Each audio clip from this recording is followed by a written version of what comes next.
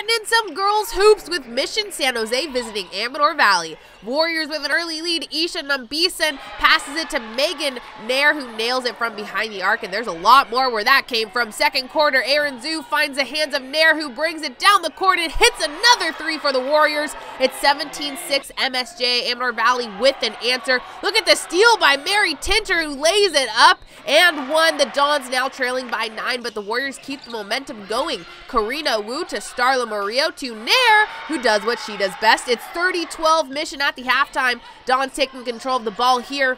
Emily Tincher connects with Isabella Mauricio, who splashes it in. Here, Nair not taking the shot this time, but passing it to Nambisan, who hops behind the arc for the three ball. Mission with a comfortable 24 point lead and into the fourth. Mauricio driving it into the paint for a Don's basket, but Mission's just too good. Jessie Yang finds Haylie Wakayama in the corner for the Bomber, and the Mission San Jose Warriors take this game 60 to 44 with an impressive win to start this season.